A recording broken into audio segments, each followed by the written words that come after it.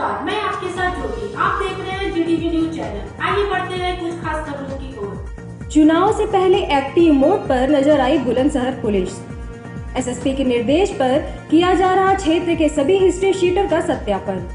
Police की आठ team अपराधियों की धरपकड़ के लिए चला रही अभियान। शांतिपूर्वक चुनाव कराने के लिए कसी जा रही अपराधियों पर नकेल। खुर्जा में बताए जा रहे कुल 125 हिस्ट्री शीटर। बुलंदशहर एसएसपी के निर्देश पर खुर्जा पुलिस ने चलाया सत्यापन अभियान। बुलंदशहर से प्रदीप पंडित की खास रिपोर्ट। तो खुर्जा पुलिस द्वारा एचएस के खिलाफ अभियान चलाया गया है।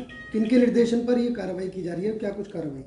वरिष्ठ पुलिस अधीक्षक महोदय के निर्देशन पे खुर्जा नगर पुलिस तथा खुर्जा सर्किल के जो भी भारी निरीक्षक और थाना अध्यक्ष को या आठ टीमों को लगा करके सभी एचएस का सत्यापन कराया गया है। और उसी के क्रम में ये कार्रवाई की जा रही है। निकट भविष्य में नगर पालिका के चुनाव जो संभावित हैं, उसको देख करके कार्रवाई कराई जा रही है।